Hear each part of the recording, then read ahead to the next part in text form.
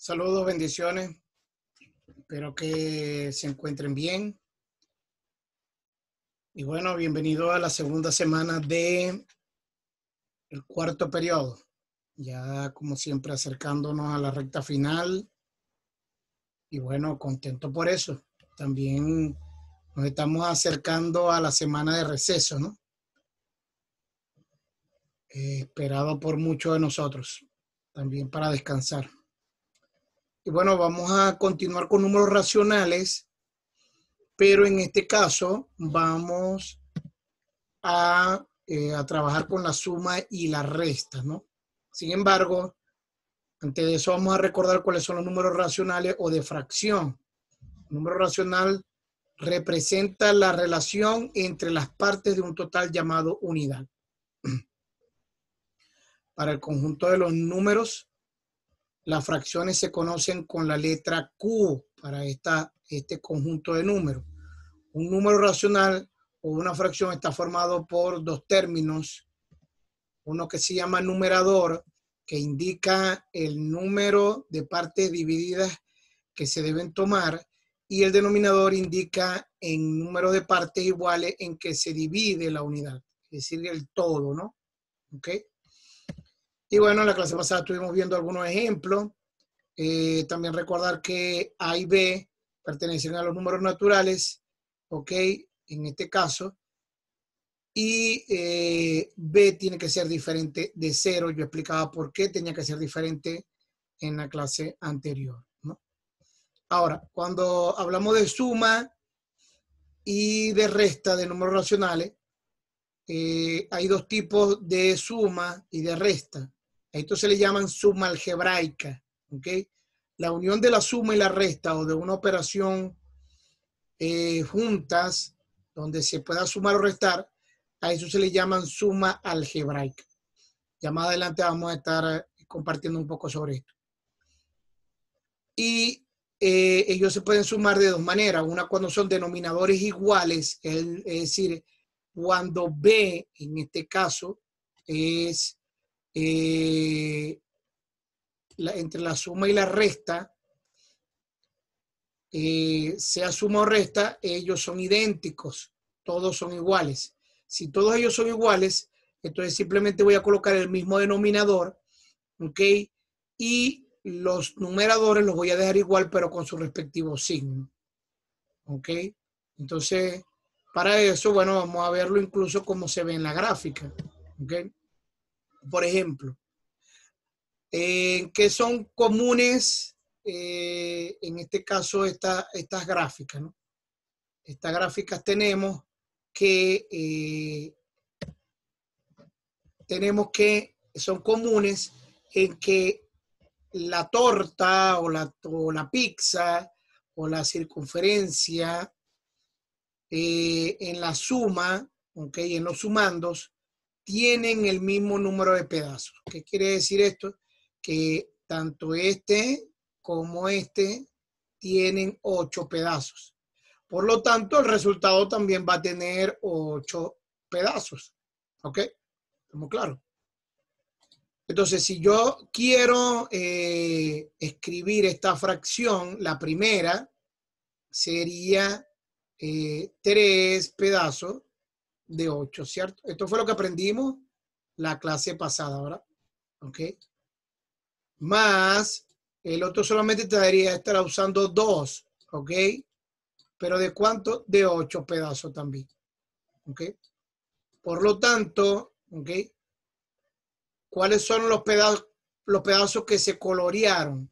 Fueron 5, ¿verdad? Entonces, el resultado me va a quedar 5, ¿ok? Sobre 8. Fíjate bien que el 8 queda igual en, el mismo resultado, ¿ok? Pero resulta que los dos de arriba, ¿ok? El 3 y el 2 son los que se suman, ¿ok? Ahora vamos a permitir que el sistema haga lo suyo, ¿no? Ahí está, ¿ve? 3 entre 8 más 2 entre 8 es igual a 5 entre 8. ¿Ok? Eh, para mostrar esta operación, ¿ok? Se debería demostrar de esta manera, ¿no? Ya sabemos que esto fue lo que armamos con la figura. Y fíjate bien cómo es el proceso, ¿no? El 8 queda igual, pero el 3 y el 2 también quedan igual, pero con sus respectivos signos. Y por supuesto, al sumarse el 2 eh, con el 8, el, perdón, el 3 con el 2, me va a dar 5. ¿Ok? Y el 8 se sigue manteniendo igual, idéntico. No cambia en nada. ¿Ok? Es importante eh, ese detalle. Entonces, para sumar fracciones que tienen el mismo denominador, es decir, los números de abajo, se suman los numeradores y se deja el mismo denominador. ¿Ok? ¿Estamos claros? Vamos a ver una resta. ¿Ok? ¿En qué son comunes ellos? ¿Ok? Ellos son comunes también en que tienen 8. ¿Ok? Entonces aquí los que están pintados son todos, ¿verdad? Entonces sería 8 de 8. ¿Ok? Es decir, que esto es la unidad, ¿verdad? Porque 8 entre 8 es 1. Menos, ¿quiénes están pintados acá? 1, 2, 3, 4 y 5. Aquí están pintados 5 de 8. ¿Ok? Por supuesto, mi pizza va a tener igual 8 pedazos, igual eh, como todos. ¿Ok? Pero ahora, como es una resta, me va a dar 3 sobre 8 y voy a dejar el 8 igual. ¿Por qué? Porque estamos usando tres pedazos de 8. Bueno, vamos a permitir que el sistema haga lo suyo. ¿no? Ahí está. 8 sobre 8 menos 5 sobre 8 igual a 3 sobre 8. ¿Cómo se hace esta operación? Ahí lo tenemos. El 8 va a quedar igual, ¿verdad? Eso ya lo dijimos, queda igual, ¿ok? Lo tomo igual y estos dos números, ¿ok? También los voy a tomar, pero voy a tomar en cuenta el signo de 8 menos 5. Y al restarse, ¿ok? Me va a dar 3. Te recuerdo que el 8 es un, tiene un signo positivo y el signo tiene un signo negativo, por lo tanto se tienen que restar. Y al restar, se coloca el signo del número mayor. ¿Quién tiene el, el signo del número mayor? el más. Por lo tanto, es la razón por la cual la operación queda positiva. ¿Ok? Entonces vamos a hacerlo. Eh, vamos a ver la definición. Dice que para restar fracciones que tienen el mismo denominador, se restan los numeradores y se dejan el mismo denominador. Entonces ahora vamos a conocer la suma algebraica, como comentaba yo, ¿no? La suma algebraica es cuando hay una combinación de sumas y restas en el mismo ejercicio. Pero por supuesto, tomando en cuenta que los denominadores para este tema van a ser iguales. Entonces vamos a ver un ejemplo. Ahí tenemos 5 sobre 7 más 8 sobre 7 menos 10 sobre 7 y más 2 sobre 7. También puedo decir 5 séptimos más 8 séptimos más 10 séptimos más 2 séptimos. ¿Ok? De la manera como usted lo quiera decir, está bien. Nadie puede decir, nadie puede decirle a usted, ok, que está malo porque diga 2 sobre 7. Nadie puede decirle, ok. ¿Estamos claros? Entonces, eh, no está malo para esta cuenta. Ahora, cuando me hablan de una división de partes, como estábamos viendo ahorita la, la, la pizza, ¿ok? es recomendable decir que si me están preguntando cuáles son las partes que quedan, entonces yo tengo que decir dos, en este caso eh, cinco séptimos partes, ¿ok?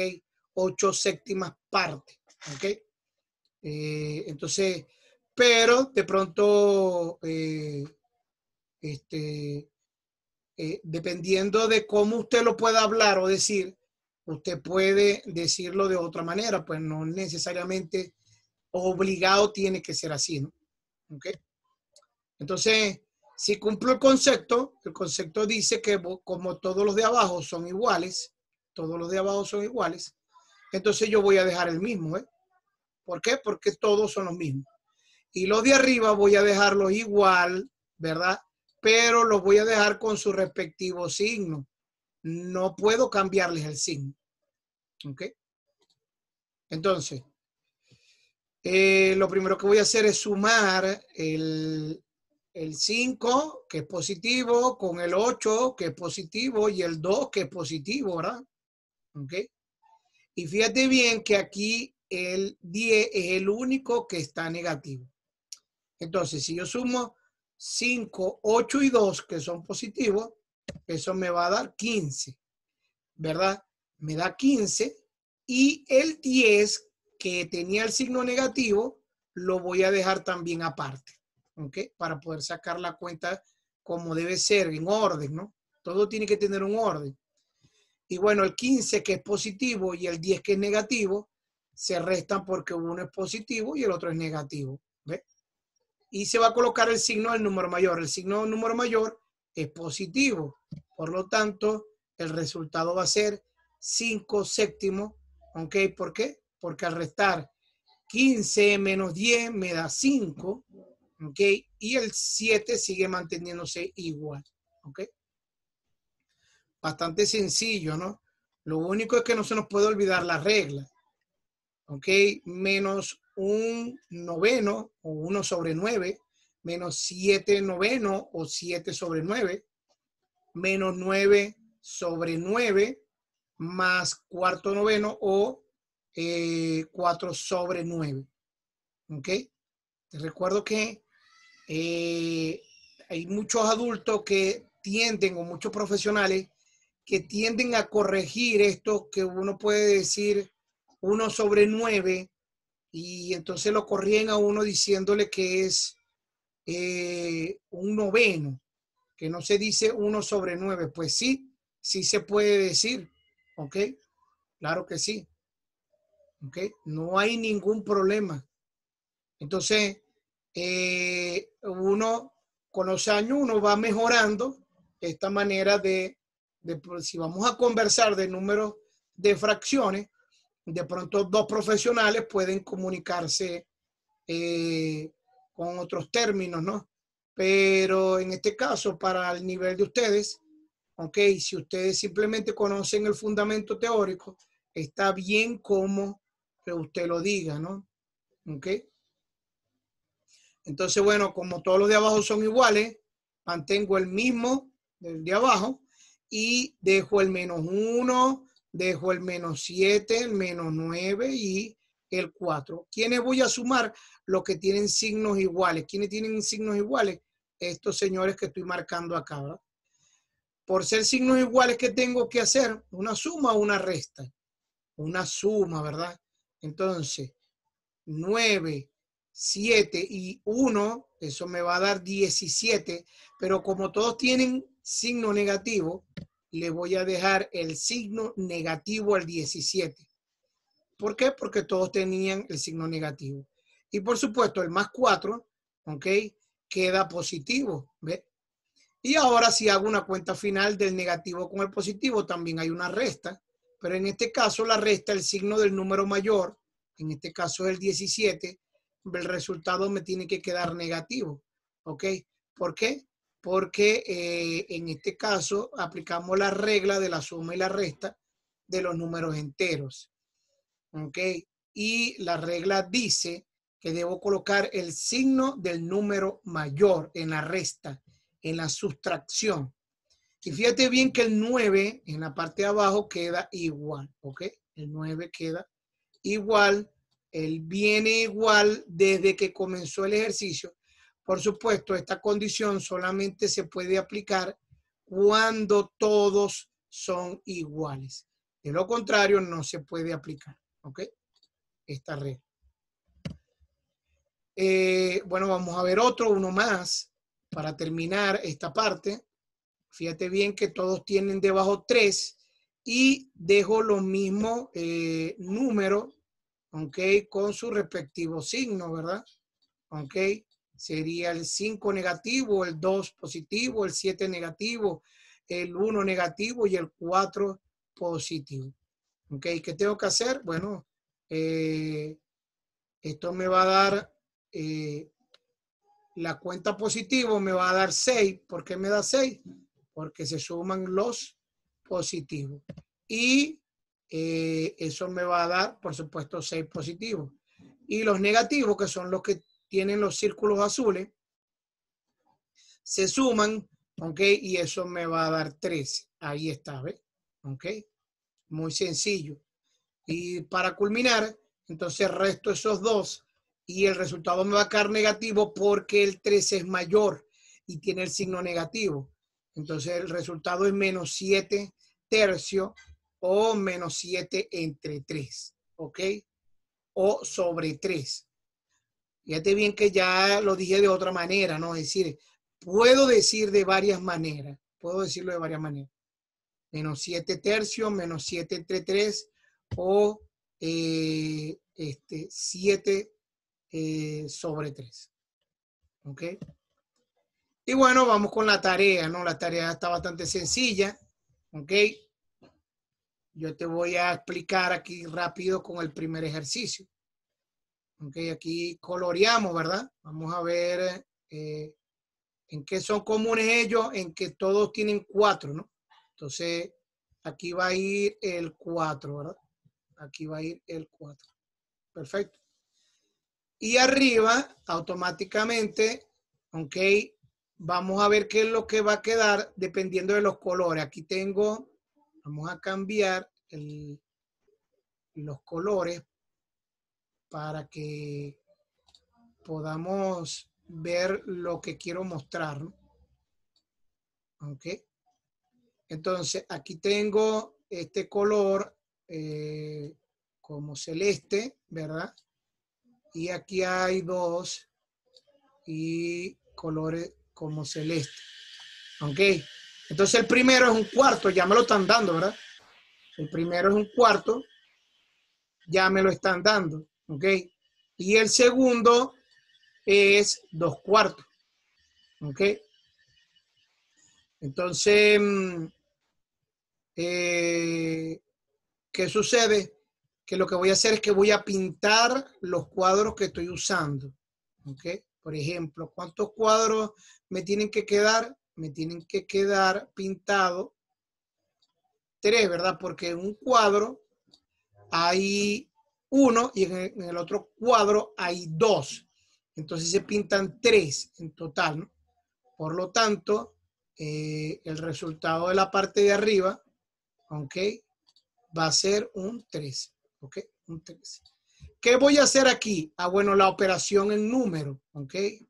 1 sobre 4, ¿ok? 1 sobre 4 más 2 sobre 4, ¿ok? 2 sobre 4 igual, ¿ok? A 1 más 2, ¿ok? Sobre 4, ¿ok? Y esto es igual al resultado que ya yo sabía que iba a dar, ¿verdad? 3 sobre 4. ¿Vio? Entonces usted tiene que hacer eso en todos los ejercicios que están acá, que se están mostrando ahorita. ¿Ok? Para, eh, para que no haya confusión con eh, todo esto. ¿no? Ok. Permítanme borrar algunas cosas que todavía tengo acá. Ok. Me deja c dos funciones. Aquí está. Listo. Perfecto. Y bueno, ahí van a resolver el resto, ¿no? En el segundo son restas. Ok. Esas las van a hacer ustedes. Ok. Son bastante sencillas. No tienen nada de difícil. ¿Cuántos pedazos hay aquí arriba? Ok. Aquí hay 3, 5. ¿Cuántos están coloreados? 4. ¿eh? Entonces serían 4 sobre 5. Ok, ya eso lo hicimos ya. Menos, ok. Y aquí es 1 sobre 5, ¿cierto?